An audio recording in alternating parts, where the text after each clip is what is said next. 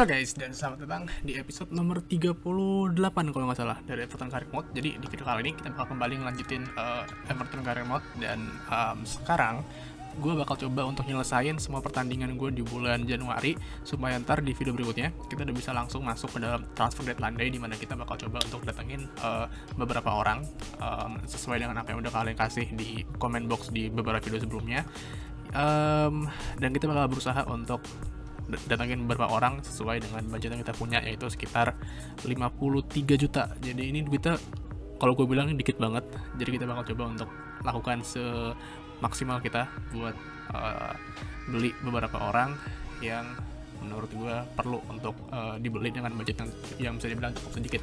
Jadi uh, buat pertandingan pertama di video kali ini kita bakal main lawan Watford di kandang mereka. Jadi sekarang kita nggak usah lama, kita bakal langsung aja masuk ke match pertama lawan Watford di Liga Inggris. Oke, okay, jadi buat match pertama di video kali ini kita bakal bertandang ke Vicarage Road, kandang milik Watford, dan gue bakal menurunkan sebagian besar para pemain utama gue. Jadi Pickford bakal main posisi kiper. Di belakang ada Leighton Baines, ada Andreas Christensen, John Stones, Michael Keane, dan juga Seamus Coleman. Di tengah ada Schneiderlin yang gagal pindah ke MU, terus ada juga Gylfi Sigurdsson. Dan di depan kita bakal ngandelin tiga penyerang kita, yaitu Rashford, Rooney, dan juga Kylian Mbappe. Jadi um, itu adalah timnya dan sekarang kita bakal langsung aja masuk ke match pertama lawan Watford di kandang mereka. Can he add to the goals he scored already this season? He's already the top scorer in the league. What a match. And it's live. Here's Watford, and this is how they're going to line up. Played in the clear. Anjrit, nyaris. Aduh. Siapa tadi yang Roberto Pereira ya? Hampir aja pulang gawang kita. Gue gak nyangka anjir. Padahal pertandingan baru mulai, baru 2 menit, tapi mereka udah bisa kena tiang aja. Nah, kasih Rashford tuh. Tuh kosong sini, kemungkinan besar. Kalau lancar, set, balikin ke Rooney. Golin Rooney. Nah, kan gue juga apa satu kosong. Wayne Rooney the legend, my love, my man, my everything.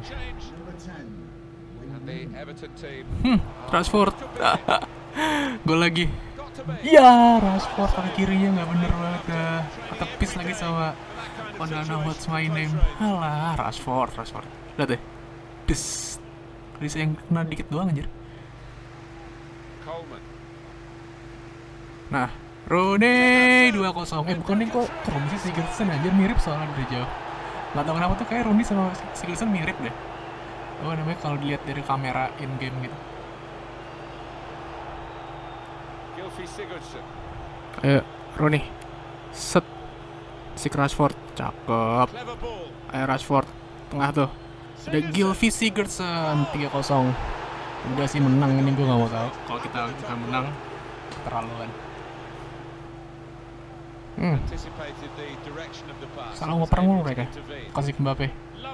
Gol lagi nggak? Gol lagi. Aduh, tepis sama Onana Mas mainin. Kasih ke Rashford. 4-0. And just like that. And just like that. See it in the faces of the players, and you can hear it in the lack of noise, if you like, from the supporters. Well, those fans can't even be bothered. Ayo Rooney dapat dong. Rooney gol kedua. Asik. 5-0. Padahal baru menit berapa sih nih? Menit 22. Wayne Rooney bisa bikin gol kedua dia buat Everton di match pertama kali nih. Mantap banget my love. Pereira, couple of teammates who are clearly on the same wavelength. Into the attacking third. Uh oh. Hmm. Gak gagal clean sheet saja. Aduh, ini kalau squad battle kita udah kehilangan 200 poin nih Yang sangat berharga buat mencoba nembus top 100 Gue sampai sekarang masih belum bisa loh nembus top 100 di squad battle Pokoknya itu gue, tuh, gue tuh kalau udah tahu gue udah gagal top, top, top 100 gue udah males main squad battle lagi Ya padahal kita udah bagus banget awalnya Bikin 5 gol di, menit, ya, di 20 menit Tapi kita harus gagal clean sheet Sayang banget Eduardo Salvio. Going forward well. Oh shit. Oh no. No no no. 5-2. Aduh, gawang kita kejebolan mulu dah. Creating the chance was really good. They picked the right pass every time now. Well, he's doubled up here with his second goal, and he took it in excellent style, just like the first one. Really trying to use the full width of the pitch here to to make some progress. Morgan Schneiderlin. Ayo Seamus Coleman 60 grand 60 grand Seamus Coleman 60 grand 60 grand I say 60 grand 60 grand Seamus Coleman Playing football di Everton way Nyaris.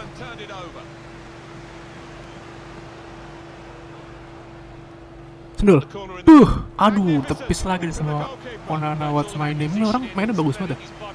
Walaupun 7 bola 5 tapi dia bikin be- beberapa save sih Jadi ya fair play Sendul. Dush Nope Johnny.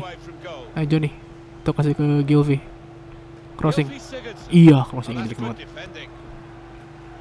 Aduh Bad first touch. See you later. Sigurdsson. Mbappe. Golin Mbappe Yes Golnya BS banget anjir Ntar lu liat replay nih kocak banget Pemainnya uh, Watford First, first touch-nya hancur banget Jadi bola dimanfaatin sama si Ninja Turtle and Dus Iya first touch jelek banget tuh Itu first touch Liga Gojek tau It's gak? going to be a Jelek banget.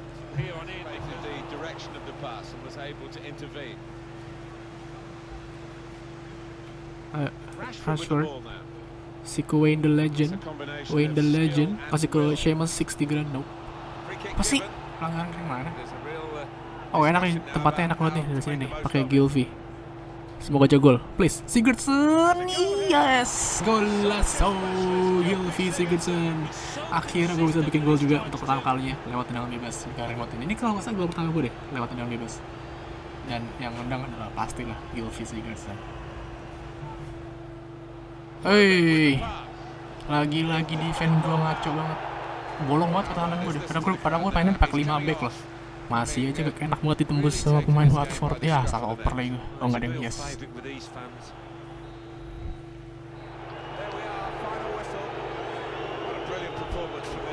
Oke, itu dia. Tadi gue lupa, gue harus ngomong itu pas yang terakhir. Ah, itu dia. Pertandingan pertama lawan Watford di Liga Inggris. Kita masih menang dengan skor 7-2, di mana Gilvy Sigurdsson berhasil bikin hat-trick um, di pertandingan kali ini dan uh, bikin kita menang dengan skor sangat telak itu 7-2. Kalau nggak salah tuh yang golin Sigurdsson bikin satu, eh, bikin tiga, terus Rooney bikin dua, Rashford satu, satu lagi Mbappe kalau nggak salah, ya kan? Iya. Jadi um, inilah hasil yang bagus dan sekarang kita bakal langsung masuk ke match kedua lawan Leicester City di Liga Inggris. Oke, jadi buat match kedua di video kali ini kita bakal bertanding lawan Leicester City di Liga Inggris yang sekarang itu mereka ada di peringkat ketiga kalau nggak salah di bawah Everton dan juga Chelsea. Jadi kalau kita bisa ngalahin mereka, kita bakal bikin peluang mereka buat juara eh, hilang. Jadi makanya gue pengen eh, memainkan para pemain utama gue. Jadi Pickford bakal main posisi kiper. Di belakang ada Leighton Baines, Andreas Christensen, John Stones, Michael Keane dan juga Seamus Coleman. Di tengah ada Gilvy sama McCarthy yang gue mainin karena si Schneiderlin harus absen selama 3 minggu karena dia dapat cedera. Dan di depan kita bakal seperti biasa bakal menggunakan Mbappe, Rooney dan juga Rashford yang di match sebelumnya mainnya bagus banget. Jadi um, hopefully kita bisa mengulangi apa yang kita lakukan di match sebelumnya dengan ngebantai Leicester di match kedua di video kali ini. Nice, ayo Kylian Mbappe. Uh, gila, bola kencang banget ya. Crossing. Rooney, aduh, tepis sama save Schmeichel.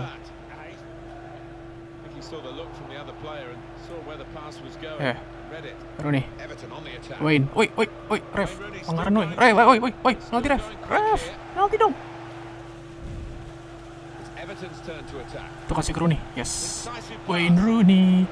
Wayne Rooney, he goes by the name of Wayne Rooney. Golin lagi, golin lagi, Wayne Rooney, ngegolin lagi.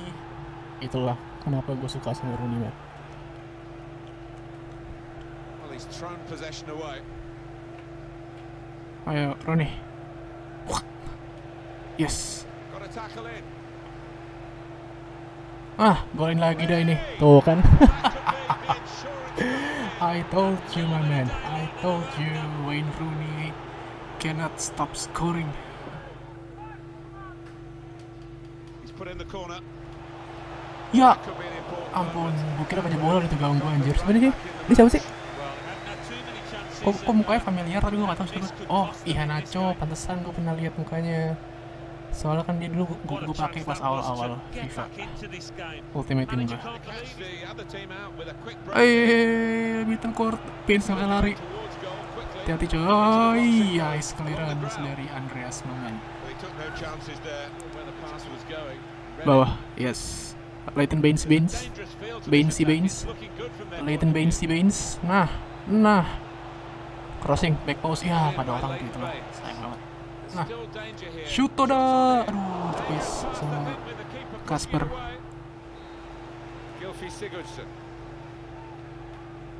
yuk mantap banget.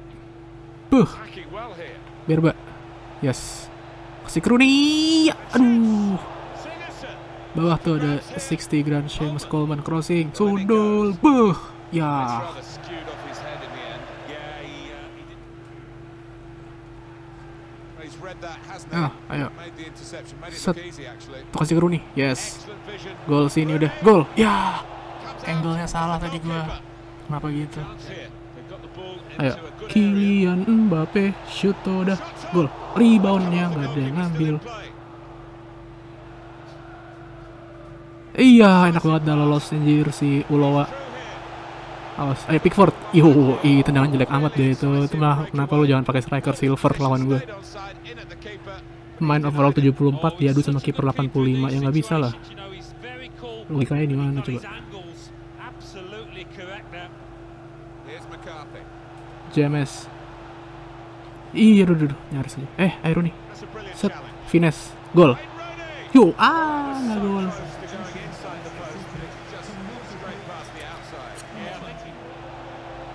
nice. Ayo Leighton Baines si Baines. Crossing Baines. Ada Mbappe Rashford rebound. Ya Rooney gagal rebound. What's gone wrong with him? He looks off the pace. Look at that, that speaks for itself. The lack of shots and perhaps reflecting a lack of Sendul confidence. Christensen. Gol yo Andreas Christensen. Berhasil bikin gol buat Everton. Setelah dia manfaatin assist dari Kieran Dowell yang gue masukin gol kedua gantiin Gylfi Sigurdsson lumayan lah.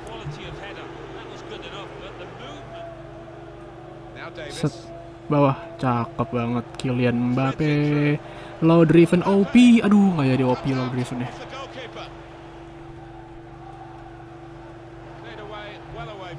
Des. Mbappe Rooney away. balikin lagi ke Mbappe. Mbappe lari Mbappe. Lari Mbappe. Mbappe golin! Yo Kylian Mbappe akhirnya bisa bikin gol keempat buat Everton di pertandingan kali manfaatin assist dari Wayne Rooney. Ayo. Ayo. Tommy D. Tom Davis. kasih ke- ah kamu ke Rooney. Elah bukan ke Mbappe. Oke jadi um, itu dia pertandingan kedua di video kali ini. Kita berhasil menang dengan skor 4-0 melawan Leicester. Dan, dan ini pasti bakal bikin peluang juara Leicester bakal hilang karena mereka udah kalah back to back lawan Everton. Dua-duanya dengan skor 4-0 jadi kita bisa ngalahin mereka di Goodison Park dengan skor 4-0 dan kita main kandang mereka King Power Stadium. Mereka juga kalah dengan skor the road. They've 4-0 been jadi ini adalah hasil yang bagus. Dan sekarang kita bakal ngesim pertandingan terakhir di bulan Januari yaitu pertandingan lawan Blackpool di di final Carabao Cup kedua. Oke, jadi um, sebelum kita ngesim lawan Blackpool di semifinal leg kedua dari Carabao Cup, gue bakal uh, pilih, eh kita bakal pilih siapa yang bakal keluar sebagai player of the episode buat video kali ini. Jadi gue bakal masukin tiga orang, yaitu yang pertama adalah Gylfi Sigurdsson, karena Sigurdsson bakal bikin hat-trick pas kita ngalahin Watford dengan skor 7-2. Kemudian gue bakal masukin Wayne Rooney, karena ini berhasil bikin dua gol pas kita ngalahin Watford plus dia juga bikin dua gol pas kita ngalahin um, Leicester kalau nggak salah dan terakhir gue bakal masukin Marcus Rashford karena Rashford berhasil bikin satu gol dan juga dua assist pas kita ngalahin uh, Watford dengan skor 7-2 jadi um, kalian bisa pilih di pojok kanan atas siapa yang bakal keluar sebagai player, player of the episode buat video kali ini. Dan nanti terpilih bakal masuk ke dalam daftar pemain yang udah berhasil mem- memenangkan gelar player player of the episode sepanjang musim kedua kali ini dan mereka punya peluang buat uh, meraih gelar player of of the season pada akhir musim nanti. Jadi um, sekarang kita bakal langsung aja untuk ngesim pertandingan lawan Blackpool di Carabao Cup karena itu pertandingannya udah nggak- nggak penting lagi kan karena kita udah berhasil unggul dengan agak agak 4-1 kalau nggak salah di leg pertama. Jadi kita bakal sim aja away ke kandang mereka. Dan ini sih gue gue berharap kita menang soalnya kalau, kalau kita kalah ini kebangetan. Awalnya Blackpool doang kita kita ini peringkat pertama di Liga Inggris jadi kalau kalah agak-agak gimana gitu. Tapi nggak apa-apa lah Klasen masih bikin gol bikin gol duluan. Jadi um, ini adalah awalnya bagus. Gue bakal langsung aja skip aja ya tinggal usah kelamaan. Terus menang dengan skor 2-1 tapi Vela ini cedera. Ini bukan kabar yang bagus karena uh, kita baru aja kehilangan si Schneiderlin yang harus absen selama 3 minggu. Dan sekarang kita bakal lihat uh, seberapa lama si Kribo harus absen dari tim kita. Um, player injured aduh dia cedera MCL 2 bulan. Jadi kita nggak bakal bisa main Ferrari dengan selama dua bulan ke depan karena dia karena dia dapat cedera medial kolateral ligamen dan ini bakal nyusul dan dia bakal nyusul tempatnya dan dia bakal nyusul si Snadlin Snadlin yang harus absen juga selama tiga minggu karena dia menderita sprain nih aduh kacau banget. Hah? Oh, ini kok marah-marah sih? Sudah gampang lah. Ini paling cuma EA nya ngaco-ngaco dikit terus ada juga loan over buat Joe Robles. Gue kayaknya nggak bakal gue bakal reject aja lah. Karena gue butuh kiper ketiga siapa tahu kan kita uh, kehilangan kiper entah kenapa. Oke. Okay. um, jadi sekarang uh, kita bakal langsung aja masuk ke transfer deadline day yang bakal gue mainin di video yang bakal gue sih? Yang bakal gue lanjutin di video berikutnya. Um, jadi ini adalah peluang, peluang terakhir kalian untuk kasih gue masukan siapa yang harus uh, dibeli di video berikutnya. Karena ntar di, di video berikutnya kita bakal langsung masuk ke transfer deadline day untuk ngurus soal transfer transfer transferan yang bakal kita coba untuk lakukan di bulan Januari ini. Uh, gue cuma punya, cuma punya cuma punya dana sekitar 53 juta. Jadi make sure pemain yang kalian pengen harganya di bawah 53 dan um, ya sih kayak itu aja buat video kali ini. Ada yang kurang gak ya? Ntar gue coba ingat-ingat dulu. Um, oh iya gue belum kasih lihat kelas sementara di Liga Inggris sama siapa yang kita hadapi di final Carabao Cup. Bentar. Ngeliatnya di mana ya? Shit. Cara ngeliatnya gimana? Um, oh ini nih. Tim oh wait what? oh no no. Tables. Nah ini dia. Jadi um, kita bakal ketemu sama Aston Villa di babak keempat atau round 4 di Emirates FA Cup? Terus buat Carabao Cup mana sih?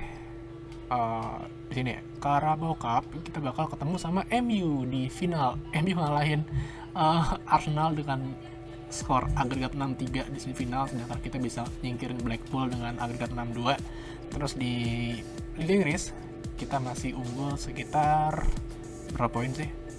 14 poin dari Chelsea yang ada di peringkat ke 2 dan ya ini ini sih feeling gue kita udah pasti juara lah. Nggak mungkin kita nggak juara kecuali ada keajaiban yang bikin Chelsea bisa ngejar poin kita. Terus um, ada MU di peringkat ketiga di peringkat keempat ada Leicester yang baru saja kita kalahin di match kedua tadi. Di peringkat lima ada Tottenham Hotspurs Arsenal di peringkat ke-8 Man City di peringkat ke-10 dan Liverpool di peringkat ke-17 sedangkan untuk tiga tim yang ada di posisi paling bawah ada Norwich, Stoke, dan juga Fulham yang pasti kemungkinan besar bakal terdegradasi ke championship karena mereka baru menang sekali dari 22 kali main. Kasihan banget mereka. Oke okay, uh, jadi itu dia buat video kali ini. Terima kasih sudah menonton dan sampai ketemu di video berikutnya